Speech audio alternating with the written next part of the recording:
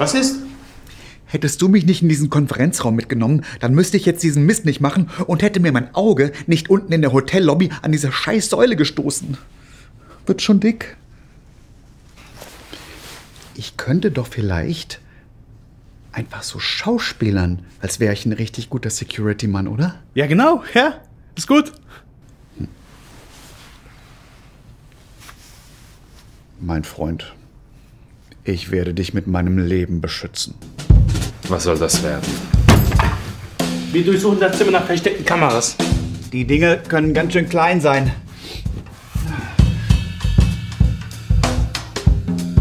Also die Kameras meine ich.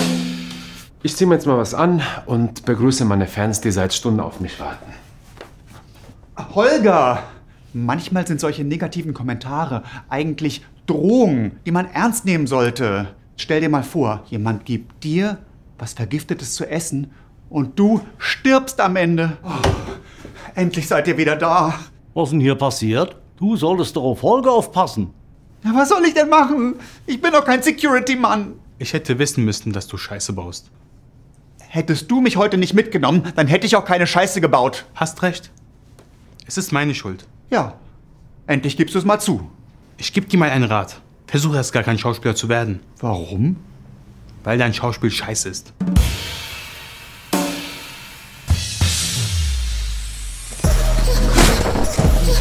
Fertig! Fertig! Los, die Deckung! Das muss man! Schafft sie jawohl! Los!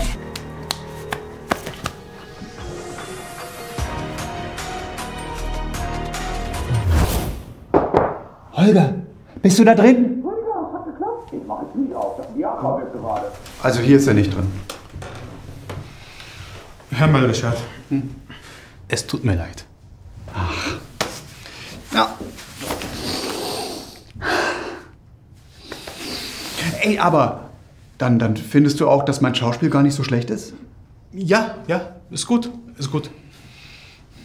Gut. Dann, ähm, Partner, lass uns den Mistkerl jetzt finden.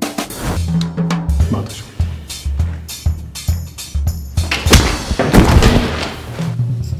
Das ist mein bester Freund, du Bitch!